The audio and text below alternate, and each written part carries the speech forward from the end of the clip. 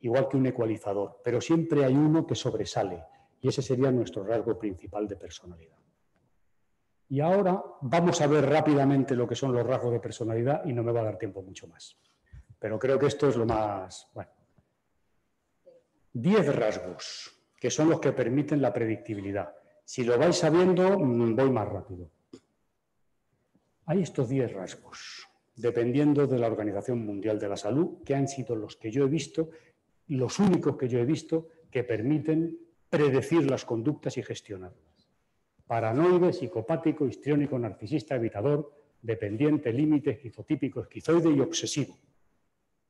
Cada uno de aquí somos uno de estos. Y eso define nuestro patrón de interpretar y de reaccionar emocional. Estable. Vamos a ver uno por uno. Muy rápido.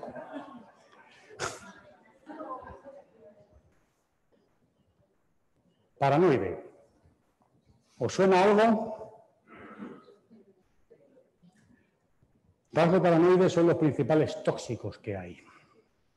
señor Adolfo Hitler era uno muy peligrosos, tóxicos en las empresas, son los que generan más conflictos en las familias, en las relaciones de amigos y en las empresas. Es un perfil a eliminar de donde estemos, siempre siempre. Si lo somos nosotros, a trabajarlo, para no serlo. Y si no lo somos y lo tenemos al lado, mm, evitarlo. Desconfianza y suspicacia general desde el inicio de la edad adulta. Las intenciones de los demás son interpretadas como maliciosas. Personas desconfiadas, susceptibles, rencorosas, siempre dispuestas a contraatacar, alberga, rencores durante mucho tiempo. Básicamente, ¿conocemos a alguien así? Sí, ¿no? Vale, ahí están los rasgos. Los celosos son paranoides. Mucho cuidado con los celosos. Los celosos son paranoides. Mucho cuidado. Voy a ir muy rápido porque no tenemos tiempo. Sigo pasando. A ver. Psicopático. Stalin, Manson, he puesto ahí al silencio de los corderos, y este señor, el líder de Sendero Luminoso, Abimael Guzmán, que era un monstruo de lo peor que yo he visto. ¿Estos qué son? Delincuentes. Personas que no tienen conciencia moral, no tienen el chip moral, les da igual todo. Son personas que no tienen sentimientos de culpa, lo único que quieren hacer es moverse satisfaciendo los impulsos que tengan en ese momento. Ya está. Si quieren coger dinero lo roban, si quieren una mujer la violan, da igual. Es lo único que quieren. Muy peligrosos. De hecho, el 90% están en las cárceles. Pero en las empresas me he encontrado mucha gente con este rasgo. ¿eh? Porque son extremadamente inteligentes. Extremadamente inteligentes. Confunden a los demás y son los que dicen, qué bueno eres y de repente has desaparecido con la caja de la empresa y está en Brasil viviendo en un sitio que nadie conoce. Rasgos psicopáticos, peligrosísimos. Histriónico. Tu amigo Hugo Chávez era el ejemplo de esto. ¿Qué significa histriónico? Teatral, gente exagerada. Normalmente lo que quieren ser es el centro de atención. Siempre son el centro de atención, intentan serlo de alguna forma, se detectan muy bien porque tienen un tipo de conversación muy aséptica, no tienen emociones, eh, es muy superficial, son muy divertidos. Estos en las empresas hacen magníficos comerciales, por ejemplo, no son mala gente, lo que pasa es que te pones al lado de un histriónico y terminas tú pueden ser muy tóxicos en algún momento, pero pueden hacer buen labor. Así como los dos perfiles, lo más lejos posible, un histriónico puede ser divertido en una fiesta y tiene su función dentro de una empresa. Excesiva emotividad, pero tiene que ser el centro de atención, eh, la interacción con los demás eh, son muy provocadores, eh, tiene una forma de, hablar subjetiva, muy autodramaticable. Bueno, vale, seguimos. Narcisista. Conocemos a alguien, ¿verdad? Bien. ¿Qué rasgos tiene esta gente? 20% de los CEO de las empresas tienen este perfil. Y el que más manda en el mundo es un ejemplo. Tonto, no, gente muy lista. Tremendamente inteligente. Muy inteligente. Pero, ¿qué es lo que hacen? Son muy tóxicos. Trump, por ejemplo, yo estoy viendo que hace cosas, bueno, hay algunas que hace bien, pero todas caen mal. ¿Por qué? Por la personalidad. Prepotentes, mm, piensan que son el ombligo del mundo y sobre todo los narcisistas tienen una cosa muy mala dentro de las organizaciones, es que pisan a los demás. Se encargan de decir a los demás que son una... eso, lo que caracteriza al narcisista no es que él piense que es maravilloso, sino que los demás no valen para nada. Y entonces él ya se encarga de repetir a los demás que no valen para nada continuamente. Por eso son unos jefes muy tóxicos, pero casi siempre suben a jefe. Es el perfil que sube. Los políticos, los directores de compañía, siempre. Conforme tengan un rasgo más o menos grande de esto, son más o menos tóxicos. Mucho cuidado, mucho cuidado. Tratar con un jefe narcisista puede ser lo peor que hay en este mundo. Tengo mil anécdotas que no me da tiempo a contarlas. Aquí tenemos las características. Claro, cuando hacemos un proceso de selección en una empresa y de integración de esa persona, ¿en qué hay que fijarse? ¿Forma de ser o esto? ¿En cuántas empresas se tiene en cuenta esto? Por favor, que levanten la mano. Vale. Vamos bien. Seguimos. Evitador. Las personas, la evitación es un problema muy grande. Son personas básicamente que tienen tanto miedo a la crítica de los demás que al final se anulan y no hacen nada. Y de hecho, la última vez que vi era el 80% de los mendigos que hay en la calle tienen un rasgo evitador. Porque no pueden hacer nada. De hecho, yo vi una vez un tema muy dramático. Me trajeron a uno que había sido director general de Telefónica y tenía un rasgo evitador. Terminó en la calle.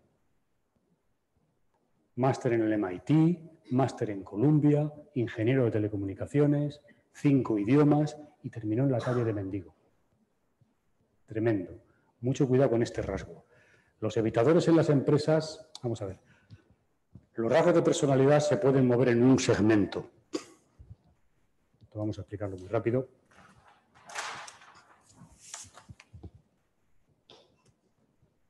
Sería un segmento, donde aquí estaría 0% del rasgo y aquí tendríamos un 100% del rasgo.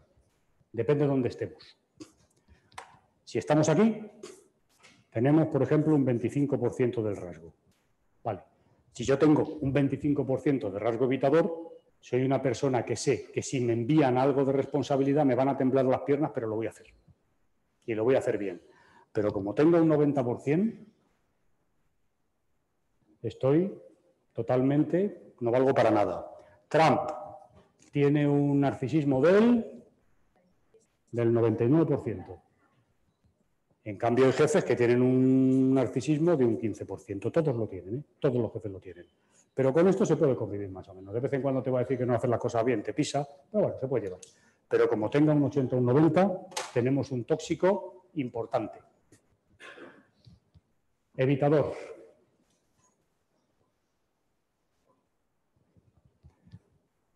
Muy problemático para el que lo sufre, no problemático para el que está al lado. El que está al lado se preocupa porque no entiende lo que está pasando. Seguimos. Los dependientes son los únicos que aguantan a los narcisistas, por ejemplo. Si hay que poner a alguien que aguante un narcisista, hay que coger un dependiente. Porque si no, se va. ¿A Trump quién le está quedando? Los dependientes. A la gente que no es dependiente, se van. Esto es un problema muy, muy grande en las relaciones de pareja, porque da origen al maltrato.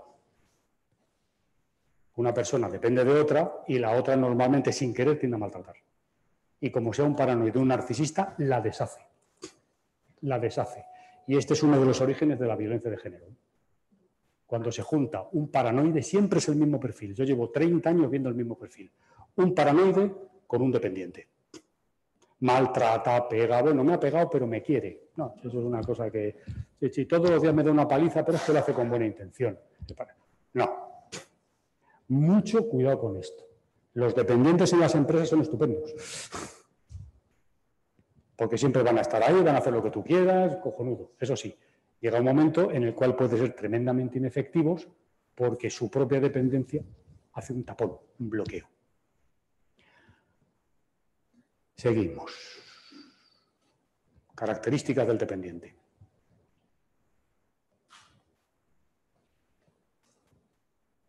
Me quedan dos rasgos más. Rasgos límite. ¿Sabéis algo de esto? ¿Alguien lo ha oído? Bueno, los rasgos límite, muchísimos en la, en la sociedad y en las empresas son un problema. Las personas límite son personas desorganizadas. Es un desastre. Son personas que son un desastre. Por ejemplo, Melanie Griffith, la mujer de Antonio Banderas. Drogas, alcohol, orgías, son desastres. Pero son buena gente. El problema es que son un desastre. Por ejemplo, la Amy Winehouse era maravillosa cantando una vida desastrosa y se murió por sobredosis de drogas. Son un desastre. Mucho miedo a quedarse solos, sensación de aburrimiento permanente, sensación de vacío crónico. Si te vivimos al lado de un límite, nos va a tratar bien, pero nos va a volver locos.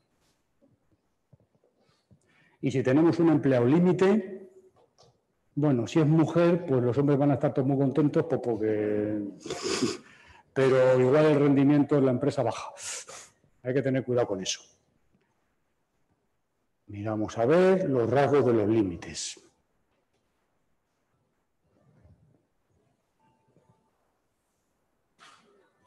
A ver, cambiamos.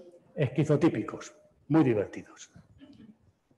Los esquizotípicos son personas que todo le ven un significado sobrenatural. El más allá, Dios, enciende un semáforo en la calle, eso es una indicación de que me quieren decir no sé qué, no sé cuánto. Pongo arriba uno que fue muy famoso en España, que era Carlos Jesús, que este venía de un planeta que era Raticulín. Entonces era enviado de Raticulín a la Tierra y salió a la televisión y todo, nos reíamos un montón. Y entonces se transformaba y en la televisión pasaba de ser Carlos Jesús a, ¿quién era? ¿Cómo se llamaba? Micael, exactamente. Entonces se transformaba en Micael. Estaba hablando, decía, yo soy Carlos Jesús, vengo de Raticul, y decía, ahora soy Micael, que hablo de... Y lo hacía en serio el tío. Entonces, los esquizotípicos son muy divertidos, pero en un momento determinado también te pueden volver loco. Porque ya tanto significado oculto, sobrenatural y tal, cansa mucho. Normalmente los videntes y tal suelen tener un rasgo esquizotípico. A ver, seguimos. Este es rasgos esquizotípicos. Solo una consulta. ¿Afecta la relación natural-sobrenatural o afecta la distorsión de dos realidades que ven común? No. El problema no es que exista o no exista lo sobrenatural. El problema es que esta persona lo ven en todo. No, no, no, por eso digo, si es esquizotípico, esta mm. historia, sí. eh, se, se concretiza en esto de natural-sobrenatural o se puede concretizar en otras esferas, por ejemplo, decirle estoy acá, pero no estoy acá. Pues sí. Yo es que te puedo contar muchos ejemplos de, eso. Sí, sí, exactamente. depende si están aquí o están aquí. ¿Eh? Entonces, depende de cómo se muevan, pues, pues hacen cosas rarísimas o, bueno, o simplemente son videntes. Otra cosa. A ver. Esquizoide. Jason. Personas que son normales pero tienen bloqueo afectivo, no sienten trabaja para su majestad la reina, hace lo que tiene que hacer, pega 70 tiros a la gente, los mata, los pisa un poco, se va a tomar algo y yo no siento. Muy normal en la sociedad. Eso que normalmente catalogamos un frío, es esto. No son mala gente, pero cuesta llegar con ellos. Estas son sus rasgos. Les da igual los halagos o las críticas, son inmunes a muchas historias. En las empresas es lo mejor que hay lo mejor. Tener un esquizotípico para algún tipo de cosas. Obsesivos. Lo ideal. Casaros con un obsesivo, tener hijos obsesivos, empleados obsesivos, lo mejor. Esto es lo mejor del mundo. Esto es lo que tenéis que tener en vuestra vida rodeados por todos los lados. Y a Dios gracias, el 80% de la población tiene este rasgo. Ah, a ver, yo aquí tengo muchas cosas que quería pararme, pero no tengo tiempo. Básicamente las personas obsesivas tienen cinco rasgos. Son personas tremendamente autoexigentes, con tendencia a tener inseguridad, sentimiento de culpa, dudas y muy rígidos. Quieren hacer las cosas bien, les da sentimiento de culpa si no lo hacen bien, son el empleo perfecto, trabajan mucho, cobran poco y encima tienen sentimiento de culpa. Lo mejor. Lo mejor. Esto es lo que tenemos que tener. Te casas con alguien que es obsesivo, bueno, bueno, lo mejor del mundo. Eso sí, son muy pesados. Muy pesados como tienen muchas dudas, tanto rato lo he hecho bien, lo he hecho mal, ¿qué te parece? Que no sé en ese momento, al final te vuelves loco, pero estás al lado de alguien que es, de hecho, a, los obsesivos y a la neurosis obsesiva se le define como la enfermedad de las buenas personas. De las buenas personas. Exacto. Entonces, siempre tenemos que tener un obsesivo en nuestra vida. Y de hecho, de hecho, en mi empresa, todos los que trabajas son obsesivos. Todos. Y el que no va a la calle en tres minutos. Punto. El único, yo. Soy narcisista. no tiene que ser. Seguimos. Hey. Una persona puede combinar rasgos de diferentes personalidades ciertos porcentajes. Perfecto. Eso se llama la definición multiaxial de la personalidad. Por ejemplo, vamos a poner que este es un rasgo eh, narcisista. Pero es una persona que tiene un rasgo narcisista y también puede ser un poco obsesivo, que le hace buena persona. Y entonces tendría otro eje que se pondría aquí, que sería el obsesivo, que igual es de un 30%. Pero asimismo también puede tener un cierto grado de paranoia, que sería así. Y así se establece lo que se llama la clasificación multiaxial, que está en la Organización Mundial de la Salud, de cómo se organizan las personalidades. Y esto es lo que sirve para hacer los perfiles. Los perfiles. Y en función de los perfiles nos vamos a mover todos. Y aquí es donde está la predictibilidad de la conducta. Si yo veo esto, que es lo primero que hago con una persona, sé cómo piensa, cómo va a reaccionar, cómo va a hacer, cómo se va a integrar, los problemas que me va a traer. Y qué es lo que tengo que hacer para gestionarlo. Haciendo esto. Seguimos. Obsesivo compulsivo, que es lo que siempre son los rituales. Personas que hacen muchos rituales, toco tres veces aquí, voy quitando, no piso las, las, las rayas. Los obsesivos compulsivos son una derivación de las obsesiones, pero no es importante. Digo, no es importante porque normalmente son las personas estas que lo dejan encima de la mesa todos los lápices puestos como tiene que ser, van andando como tienen que ser, ¿no? Bueno, buena gente también, hay que aguantarlos, pero buena gente.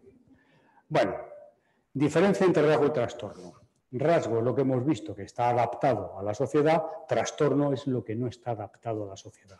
Leer un trastorno de personalidad es muy difícil, eso ya